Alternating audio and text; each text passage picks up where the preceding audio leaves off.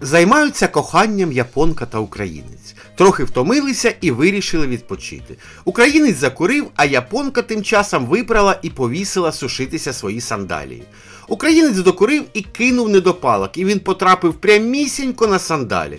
Потім бере японку, ставить її раком і починає кохати. Тут японка піднімає голову, бачить палаючі сандалії і кричить: Сундалі, сундалі! Далі не можу, яйця заважають. Дружина настільки допекла чоловіка, що він був упевнений в тому, що навіть після його смерті вона буде приходити на могилу і кричати: Ну і що? Ти так і будеш тут цілий день валятися? В одеському борделі клієнт скаржиться господарці закладу. Тьотя Соня, і що за страшну та ще й злу повію ви мені підсунули?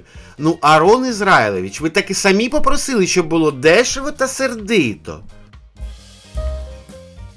Онук цікавиться у діда. Діду, а чому кажуть, що моряки ходять у море?